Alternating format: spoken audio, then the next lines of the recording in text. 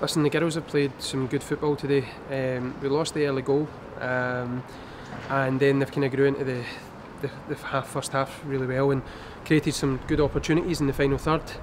Um, second goal's a bit of quality from them, come off the channel. We probably let them in the park too easy, um, and, and it, listen, it's an exceptional finish. I think the frustration from us and the frustration from the players, and having spoken to the referees after the game, they've admitted that they got it wrong and it's a penalty. Um, Morgan then makes a great save, um, and the linesman then flags that she's walked off her line. Having looked at it again um, and, and having a chat with the referees, they've admitted that they got it wrong.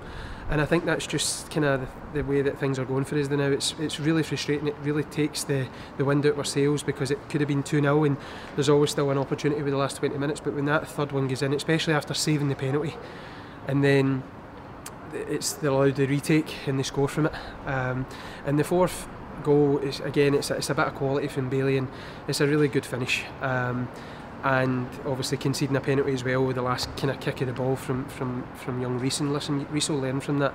Um, I think the thing for us now is we go into the Christmas break, we let a lot of the players recover that have been out injured. We've got um, obviously our goalie out, our fullbacks are out, a couple of centre mids and strikers all kind of looking to get back fit come January, and this is where we really need to make a good go at it. There's 18 games to go. Uh, lots of points up for grabs, and, and I think that's the big thing that we've said to the girls is just focus on this second half of the season now.